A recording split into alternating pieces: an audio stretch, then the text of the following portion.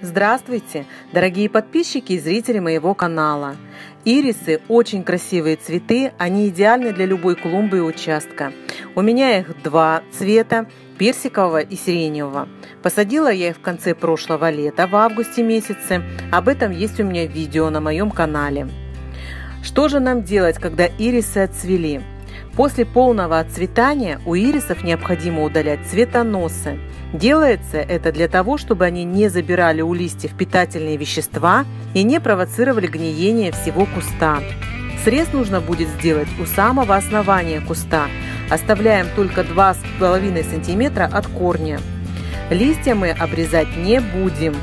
Только к концу сезона, осенью, в октябре месяце, можно будет срезать листья наполовину. То есть у нас от корня останется 15-20 сантиметров.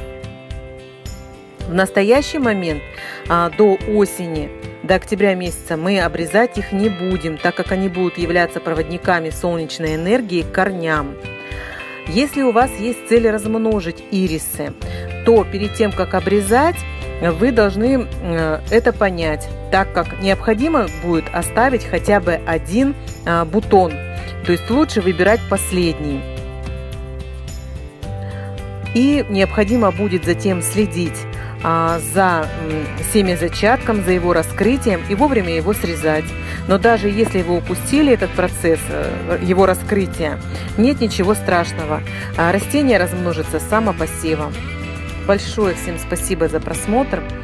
Подписывайтесь на мой канал. До свидания.